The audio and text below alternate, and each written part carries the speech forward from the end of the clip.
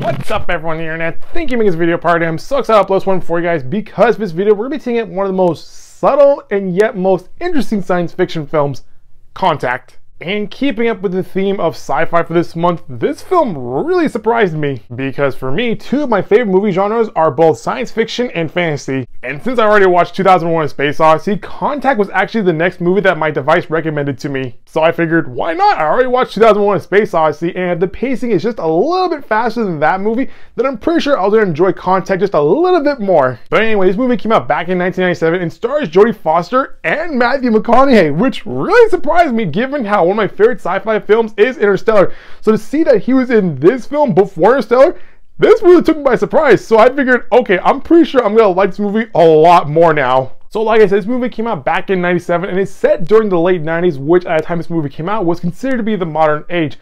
But the movie centers around Jodie Foster's character, who is a scientist that listens to radio emissions coming from space and is apparently the first human to come into contact with life beyond Earth. Now, what I mean by her coming into contact with life beyond Earth, I'm talking about her listening to a radio signal that is coming from a star system that is light years away from our galaxy, but is apparently giving off several instructions on how these humans can come into contact with these aliens. Which was one of the things I liked about this film because while at first it's about us meeting aliens, the overall story mostly revolves around us taking the steps on how we're going to do so. Honestly, this movie could have gone the stereotypical route very quickly had they introduced the aliens right from the get-go. Because in most sci-fi films, whenever humans come into contact with aliens, it's usually one scene where they learn about the aliens, and the next scene where the aliens come to Earth and pretty much wreck shop and destroy everything. That's right, I saw Independence Day. But what makes this movie special is that it takes one crucial moment that we've seen in most movies and extends it further by showing us what it would take for humans to meet aliens on a more peaceful level. And I like how within this movie there are two groups of people that audiences can identify with. There is one group that is very excited to meet these aliens knowing that there's life beyond Earth and they can further extend their knowledge on the universe itself.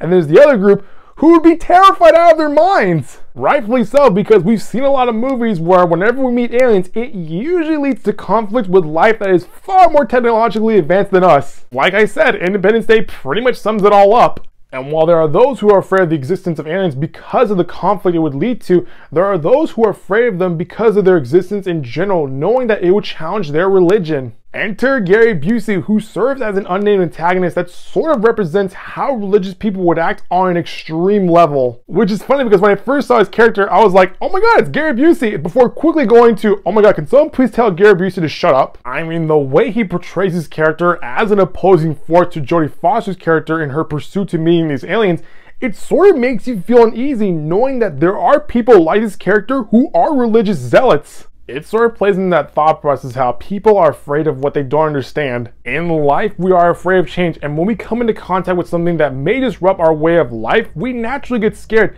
But one of the things that sort of defines us is what we do when we're scared. And you see this throughout the film as you watch Jodie Foster's character overcome several obstacles that are trying to prevent her from achieving her goal, which will ultimately change the course of human history for better or worse. It sort of reminds you that knowledge is power, and power can be perceived as something to be afraid of depending on who is holding it and how it is being used. So you're pretty much watching a story about a scientist who is trying to establish contact with an alien race while at the same time deal with the public who is afraid of what this may lead to.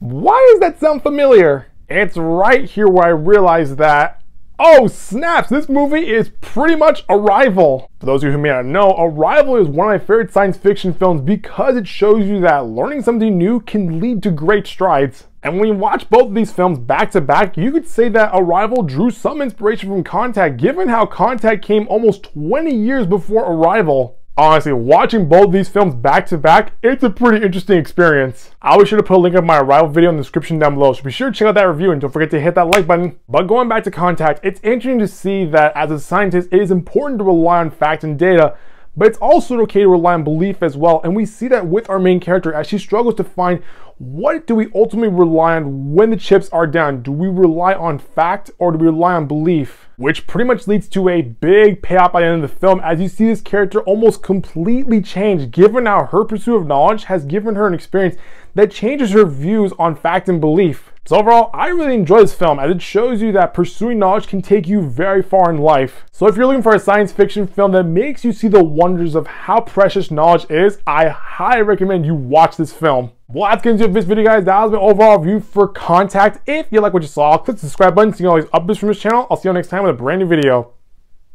Bye-bye.